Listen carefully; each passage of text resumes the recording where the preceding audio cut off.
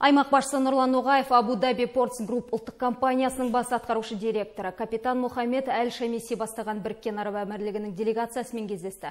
Шетелдік компания Каспий теңізіндегі теңіз операцияларын кеңейту, сондай-ақ ақтау және құрық порттарында логистикалық бағыттарды дамыту үшін Қазморт Трансфлот серіктестігімен бірлескен кәсіпорын құруда.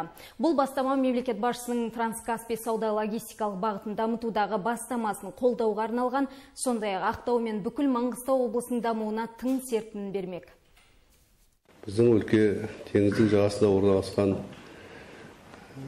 теңіз қақпасы болып саналатын облыс.